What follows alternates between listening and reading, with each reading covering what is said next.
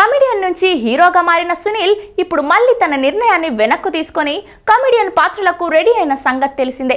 ఇలాంటి మార్పులు ఇప్పటికే ఒప్పుకున్న చిత్రాలపై ఎఫెక్ట్ చూపిస్తాయి. సునీల్కు కూడా ఇదే జరుగుతోంది. తమిళ్ మూవీ చతురంగ వేటైను తెలుగులో రీమేక్ చేయాలని నిర్ణయించగా ఇందులో సునీల్ను లీడ్ రోల్లోకి తీసుకున్నారు.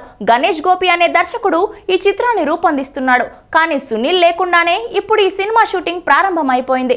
యంగ్ హీరో సత్యదేవ్తో ఈ సినిమా చేస్తుండడం సునీల్కు కోపం తెప్పించింది. ఇది నిర్మాతల నిర్ణయంగా తెలుస్తుంది. సునీల్ హీరోగా ఉన్నప్పుడు అతనితో తీద్దామని అనుకున్న మాట వాస్తవమే అయినా ఇప్పుడు కమెడియన్గా మారిన తర్వాత మళ్ళీ తమ సినిమాల్లో హీరోగా అంటే మార్కెట్ జరగదేమో అని భయపడ్డారట. అంతే ఈ విషయం తెలుసుకున్న సునీల్ షూటింగ్ స్పాట్కి వెళ్ళి తనని ఎలా తీసేస్తారని ప్రొడ్యూసర్తో మాట్లాడుతూ ఉండగా మాటా మాటా పెరిగి వాగ్విద్ధానికి దారి తీసింది ఎవ్వరం. ఇక అప్పుడే మధ్యలో దర్శకుడు గణేష్ గోపి వచ్చి సర్ది చెప్పబోతుండగా సునీల్కి చిర్రెత్తుకొచ్చి ఈ కుట్ర అంతా నీదే అని దర్శకుడి చెంప చెల్లెమనిపించాడట. అసలు డైరెక్షన్ ఆఫర్ వచ్చిందే ఆ దర్శకుడికి సునీల్ వల్ల అని. అలాంటిది ప్రొడ్యూసర్లతో కలిసి చివరికి సునీల్ నే తీసేపించాడని కమెడియన్గా హీరోగా ఒక వెలుగు వెలిగిన సునీల్కి ఇప్పుడు ఈ పరిస్థితి రావడం నిజంగా బాధాకరం.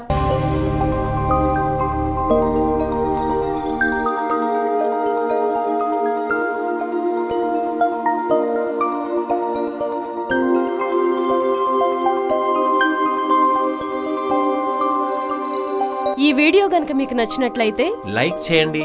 షేర్ చేయండి. అండ్ సబ్స్క్రైబ్ చేయండి.